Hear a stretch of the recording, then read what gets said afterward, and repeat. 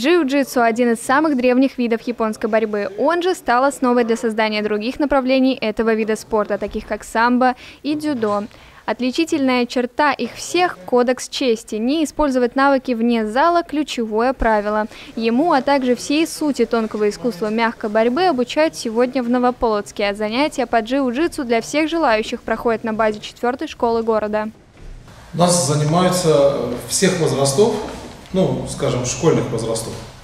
И мальчики, и девочки. То есть это универсальная, э, так скажем, борьба, э, основанная на древнем японском искусстве джиу-джитсу. Каждый год порядка 50-70 детей занимаются, постоянных человек 20-30, ну, идет ротация такая в силу ну, независящих от нас причин. Как говорится, умный в гору не пойдет, так и в джиу-джитсу. Основная задача борца – уступать натиску соперника и обратить его силу против него же самого. Сила, стойкость, духовность и уважение к окружающим людям – те качества, которые развивает джиу-джитсу. Потому в этот вид спорта ребят, мальчишек и девчонок приводят с малых лет. Самому юному борцу, постигающему азы японской борьбы, всего четыре. А дальше предела нет.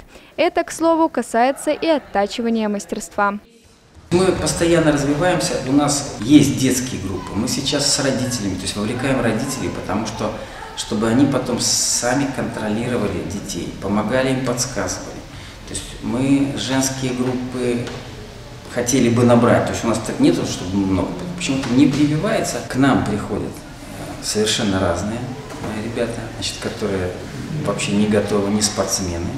У нас э, значит, не каждый день тренировки по плану, то есть 2-3 раза в неделю, но этого достаточно, чтобы воспитать ребят, которые хотели бы значит, более ну, спортивно заниматься, скажем так, составляющей, и потом участвовать в соревнованиях. Белорусской молодежной федерации джиу-джитсу и карате до 14. За этот, казалось бы, небольшой для спортивной отрасли отрезок времени здесь заручились дружбы более чем с 50 различными федерациями стран мира. Вступить же на татами может сегодня каждый, благо возможности для этого есть, в том числе и в Новополоцке. В пути за кимоно Елизавета Борбат и Сергей Залынский, телеканал «Звезда».